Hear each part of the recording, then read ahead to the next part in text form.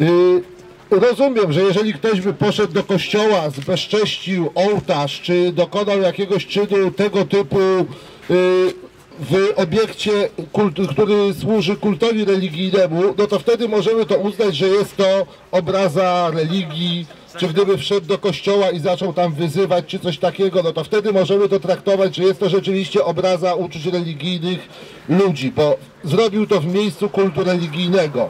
Ale nie może być sytuacji, że za jakąkolwiek wypowiedź, czy performance jakiś artystyczny, gdzie tylko pojawi się znak krzyża, czy coś tego typu, że dwie skrzyżowane deseczki za przeproszeniem są już traktowane jako krzyż i w tym momencie już jest problem.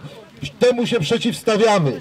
Nie może być tak, żeby Kościół ograniczał wolność słowa. I ruch Palikota jest tak samo jak Państwo za likwidacją artykułu 196 jako artykułu ograniczającego w bardzo dużym stopniu wolność i wypowiedzi i wolność e, artystów. Także jest, jeszcze jesteśmy przeciwko artykułowi 196. Dziękuję bardzo. Ja bym chciała powiedzieć... A, jednak zabierzesz głos.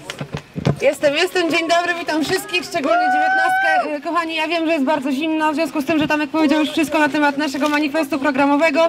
Ja bym chciała Wam mimo wszystko bardzo podziękować za to, że jest minus 20, a Wy tutaj jesteście, także dziękuję Wam bardzo i mam nadzieję, że na kolejnych tego typu akcjach będziemy również licznie.